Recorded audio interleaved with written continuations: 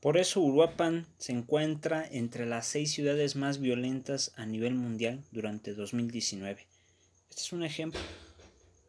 El día de ayer martes encontraron el cuerpo de un hombre que tenía impactos de bala y estaba amarrado de los pies y de las manos en un callejón de la colonia La Presa, ubicada en esa ciudad. La víctima estaba pues, semidesnuda, de acuerdo con la información obtenida por La Voz de Michoacán. El acontecimiento se registró el día de ayer en la prolongación Camino del Real, a un costado del río Santa Bárbara. Al área acudieron los elementos de la llamada seguridad pública, quienes acordonaron el área en apego a la llamada cadena de custodia para resguardar los indicios existentes.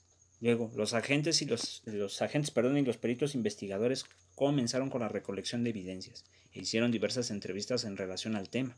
Trascendió que el ahora Oxiso vestía únicamente una truza negra, además una bolsa de plástico negra que le cubría totalmente la cabeza. Mandos policíacos dijeron que el ahora Oxiso está en calidad de desconocido, el cuerpo fue subido a una ambulancia de uso forense para enseguida ser trasladado al anfiteatro para la práctica de los estudios respectivos. La carpeta de investigación conducente fue iniciada por el personal de la Fiscalía con el objetivo de esclarecer los hechos.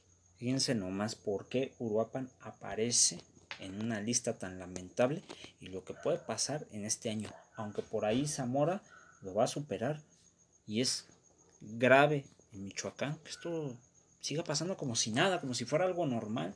Ustedes no pueden normalizarlo, porque además detrás de todo ello se encuentra la deforestación de su bosque y otras cosas que están haciendo a escondidas en Uruapan. Por eso está aumentando mucho la violencia, los negocios de maquinitas, bueno, ¿qué podemos decir más? Eso también les está, eh, está jalando mucho estos grupos delictivos. Y sí, disculpen, pero He ahí la cuestión cuando no están regularizados como se deben las cosas y la verdad por la gente que pues lo sigue permitiendo, que tienen un desgobierno indiferente y hasta engañabobos, pero bueno, ahí les dejo la información. Cuídense y saludos, compas.